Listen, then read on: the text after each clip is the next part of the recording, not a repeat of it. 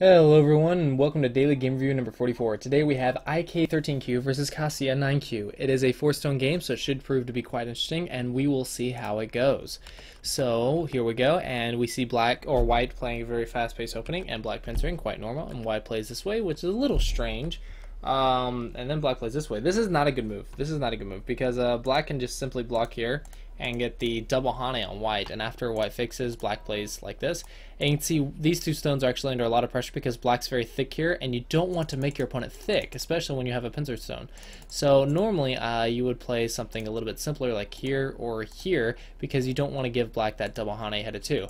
Um, so this combination I don't think is very good. I think maybe you could try something like this first, and then uh, if you want to try this way, you can play something like this, and that would be perfectly reasonable. That way black is the weak one, not not exactly white. Uh, now you also have a base, so it should be perfectly fine if you jump out here. However, if we play this way, uh, black will get thickness here, but instead black chooses to play this way. This is a little bit strange, a little bit strange. I don't see the reason to try and cut off these two stones here. This shape's quite solid, so uh, no reason to do it.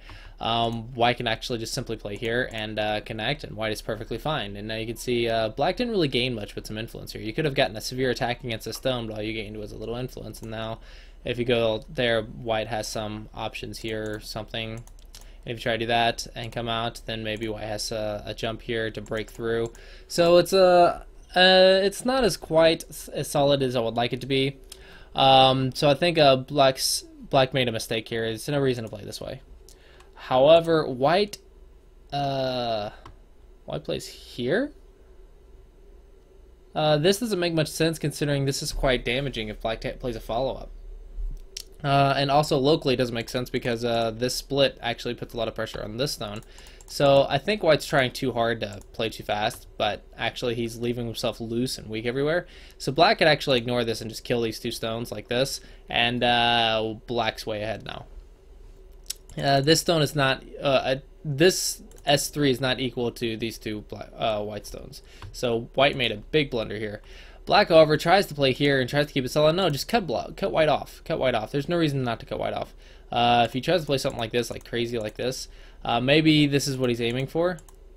Uh, however, if you don't like that, then uh, you don't even have to respond. Just play something like this. Um, you could also just play this and keep it simple, normal, revert it back to normal. Uh, but I think uh, getting Sente here is much more important. Much, much more important. So let's see. Locally, there's this variation. Uh, you can Atari from this way and cut it off like this. That's one. If you sometimes feel this is necessary, then that's a second way to do it, but this one doesn't look so good for black. So maybe not that one. uh, in some cases, you'll go here, but then the white will get the outside. Uh, looks like you have the ladder, so this should be fine for you. You should almost always have the ladder in the handicap game. Yeah, you should almost always have the ladder in the handicap game. So this one should be fine for you to play. Um, so white might choose to go here. But, yeah, that's not going to be good for him. Now he's getting cut off everywhere. Uh, you can still kill these. So that's that's one move. You could also think to just uh, push it down like this. Um, you could go here. Play something like this. Or maybe like this. Uh, but this might not be so good because uh, there's a lot of Aji in there. So I don't really like this one. So maybe just go here. If you don't like any of the other ones. Normally you should try and split here though. This is a, uh, think this is a trick move. Yeah, this is a trick move. However, this is the biggest move. Just ignore it. Like, I don't even like this area. I could ignore this area and still not even care. This is much bigger. If you don't like the local variations, just ignore it. White doesn't really have a strong follow-up. White can go here, but uh, you just start jumping out and you're fine. It's not like you're going to die, right? It's, you're not going to die. So I think you're fine. Just ignore it. Uh, this is a little bit strange. Uh, you want to go ahead and get a base. I can get a base. Uh, still this area up here, so it looks like white is succeeding in confusing black. Uh, white has this move, so I don't like this K4. Uh, however, white chooses to come in immediately here. Not a good move because black gets a tiger's mouth now. Which he does. White normally just nobies here, and this is uh, quite powerful to attack this black group. Even black does this, black doesn't have many eyes, and now white can start going this way. So I think white, you need to learn to keep your game simpler. Just because it's handicap doesn't mean you go crazy. Because if you play, um, if you start ranking up and you get to like, let's say 4Q, and their four ranks were given, let's say they're 8Q, they're not going to be playing, uh, they're not going to let you off the hook with these moves. They're going to start cutting you and splitting you and attacking you severely. This is not how you play against handicap. You don't create as many weaknesses as possible. No. You play solid, a quick, solid game, gain territory as fast as possible, and make local exchanges good for you. And just slowly catch up point by point by point.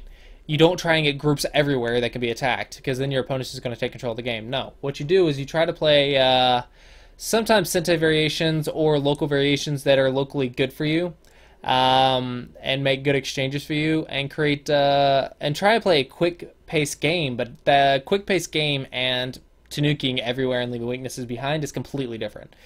A fast paced game means to make uh, fast combinations, and then when your opponent uh, and just kind of wait for your opponent to make a mistake because when they make a mistake, because they should, if it's a four stone game, uh, you'll be able to punish it as severely as possible, and you'll catch up like five points here, two points there, seven points here. Uh, this and it'll add up. And remember, this is supposed to be an even game, so it's supposed to be last until end game to where black's in the lead, and then you'll catch up the last few points in the end game, um, theoretically. So it's not about trying to immediately take back the lead. It's about trying to take it back point by point by point. So make local variations good for you. Play a little bit fast paced, but don't get yourself keep yourself so loose. This loose stuff is just going to get yourself killed everywhere. This is not the way to play against it. Um, so here you play this, and now black splits you. Now you've got another weak group. You have one, a group that can immediately die, a group that's not alive, a group that's dying, and another group it's not very in a good position. So you have four weaknesses right now on this board, and black has like one. So I think this is now worse than a four stone game. So uh, I think black should win this game as long as black plays solid and okay, white's dead. Uh, as long as black plays solid and um, plays the best of his ability. So here you can just simply surround, right? Just surround, you're good. Yeah, no reason to panic, just surround. Uh, so black, okay, black, it looks more psychological. I think black, you're just afraid of white. You're just afraid of your opponent. Uh, that's all it is at this point. So here it's really bad reading. Really bad reading. Really bad reading. Bad reading. What, black, calm down. Stick to the basics. Calm your game down. Your opponent was in a bad position. All you have to do is stay strong and you're good. So here you can just play this way. And then uh, here, an unnecessary exchange. Completely unnecessary exchange because you're actually going to help your opponent connect under. So now you have to cut. This doesn't work. But okay, you made a mistake. You made a mistake. Calm down. You can't kill him anymore. It's not about trying to kill him anymore. Now you just need to fix your position. Now you can attack these two stones. He still only has one eye, so he's still fine. He's still weak. Uh, you can still attack them, but you made a mistake. That's what happens. You can't try to overachieve. So this just obviously doesn't work. Okay, you made another mistake. Okay, now you calm down and think, okay, what do I need to do? Well, okay, now this there's almost no attack, right? Everything's connected. So let's go back and go over here and attack these. But instead, you play on the inside. Like, this is no, you're not even reading here anymore. You're just you're just clicking now, panicking. You cannot panic like this. So I think this is more a psychological thing you made a mistake and then you started panicking and you made more mistakes when you panicked. When you make a mistake, it's a mentality thing. Calm yourself down, reevaluate the board, reevaluate the lo- local situation, and then play a good move. You can't, or play the best move you can. Uh, you, if you make a mistake, yeah, you're going to lose a position probably, but there's still other stuff to play. There's a, still other stuff to try. You cannot, don't continue the mistake with more mistakes you're just going to make it worse and worse and worse. You have to calm down, reevaluate the board, and uh, get to another good move. Uh, just do your best, but the you can't panic when you make a mistake like this. You cannot panic. Um, so here it's really, really bad for black. Okay, this is just complete waste. White responded. I think both players just missed red here. White just goes here, everything's completely fine. This doesn't work. Come on, guys. Both players played way too fast. White played this in three seconds. Okay, so both players calm down, slow down, evaluate the board. Both players are just clicking in this area. That's that's what I see. Okay, why are we even playing in this area now? Uh, black, you can cut white here. The ladder's still good for you. Like I said, guys, calm down. Evaluate the board. Read. What's the best move you can play? Stop just clicking. Both players are playing moves in like three seconds a move. This is worse than byo-yomi, guys. You are playing your moves in like three seconds, five seconds, not even 10 seconds. You're not even using double digits in seconds. This is worse than the byo-yomi. Like, you have eight minutes on your clocks left, and you guys are playing your moves in like two to five seconds. Uh, this is not how you play Go. This is how you lose a Go. This is just clicking stones on a board. You're not reading, you're not evaluating, you're not thinking your moves through. You've got to slow down. You cannot play like this. You cannot play uh, super fast pace like this. You have plenty of time. Use it. Think. Use your time. It is fine if you wind up in byo-yomi. That and in byo-yomi, you still have like 20 to 30 seconds to use. Time is meant to be used, not to be saved. You should use your time. But both players are playing way too fast. And now both players playing really small. Like even white. White, you're playing small moves over here. Uh, this move's completely unnecessary. You're already connected. Black, you're playing small moves. Stop responding to your opponent. Now white finally tenukis, but it jumps out here. Um, everything's alive there. So if you want to attack, you can put pressure here. If you want to tenuki, you can go play a big move over here. Um, there's also the weak group here, so you probably should do something about that as well. So this move's kind of not, it's kind of missing the point. Uh, it's too late to attack. This attack doesn't do anything. You're going to get yourself another weak group. Black, block, block your corner, and attack white, like so. Now white uh, only has a two-space extension, so white's still not alive. Um, so, uh, guys, I'm to be honest, this game quality is actually quite low. Uh, there's a nine. There's nine Q here is a single digit Q, but I think he has no idea how to play against handicap. You cannot play so loose like this. Black, it seems like you panicked. You were doing fine, and then you panicked. You made a mistake. You you fell into your opponent's confusion trap, I guess. You got really confused. You had no idea what you're doing, and you panicked. And uh, White doesn't really have any type of plan to deal with handicap. He's just placing stones everywhere, waiting for a mistake. He leaves weaknesses everywhere. He's not really trying to make a position. So I think both players uh, have absolutely no idea what they're doing. Um, so, revert your game back to basics. Keep yourself solid, make good combinations, and attack your opponent's weaknesses when they have weaknesses. If there are no weaknesses, then go Tenuki. Play a big move. Stop responding to these small moves. R1 is never a big move. Like we this is an end game move. We've learned this like at like 15 to 20 Q we learned that this move is an endgame move. And locally, the endgame move, you should Hane. Uh, right? I mean, you should Hane to try and reduce another point. But it's small. Go play a big move. Attack your opponent's weaknesses. Calm yourself down. Think, do I have to play here? If I don't have to play here, where else can I play? So, if you want to improve, you're going to have to slow your games down. You slow or slow yourself down.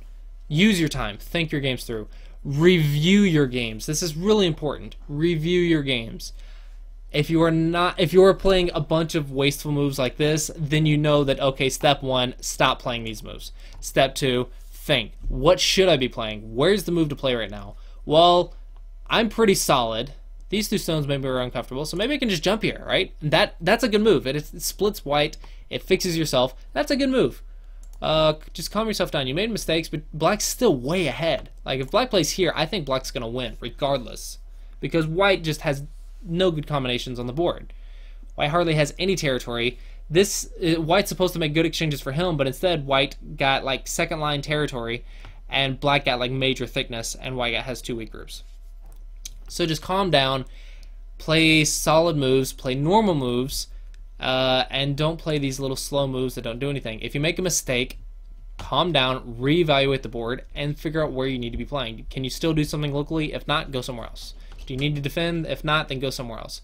So you cannot play like this.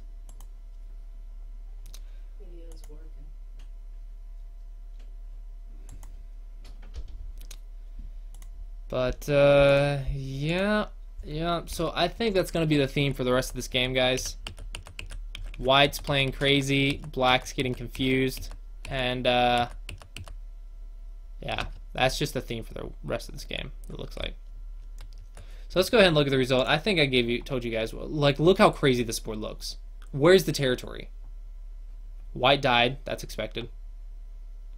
White died, that's expected. Okay, but if you look at it, like, where's the actual territory territory? Like, without a dead group. So here, just groups died. Okay, fights went bad. But there's no territory for anyone. There's no combination. There's no, like, this isn't what a game normally looks like.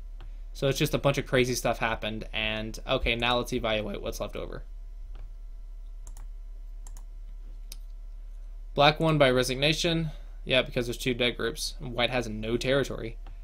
Three dead groups. Sorry, three dead groups, and white has no territory. So you see, white, you can't play this way.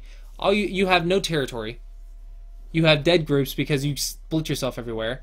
Blacks finally managed to calm down and pull through and pulled out some kills in here, but uh, the first half of the game was just crazy. White played crazy, and black got really confused and had no idea what to do. So calm down, evaluate the board, find a good move to play. Just find a decently good move, and it should be fine. Uh, review your games. Make sure you're making combinations. Make sure you're playing solid, but not slow moves and attacking your opponent's weaknesses to gain profit and then getting to those big moves. Don't play these super, super small, slow moves that are just locally one or two points but don't need to be played. You're not going to die if you ignore it. Get rid of those moves as fast as you can. Those moves are complete waste. It's like passing it's just a you can't get to single digit Q and be playing those moves. Your opponents will just ignore you. Um, actually, no, I think you can get to 8Q because I think up to 8Q they still play some of those slow moves. But still, get rid of them. If you want to get stronger than 8Q, get rid of them. But alright, uh, hopefully you found this helpful. Hopefully you enjoyed. Thanks for watching, and um, I will see you guys next time.